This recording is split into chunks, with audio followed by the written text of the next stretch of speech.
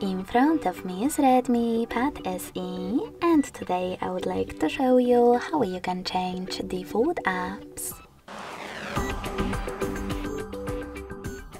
Begin by going into devices settings and scrolling down to access apps section.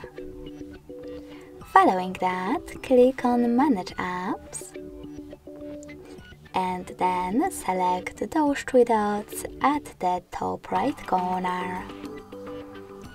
Now you need to click on default apps and tap on one of those sections.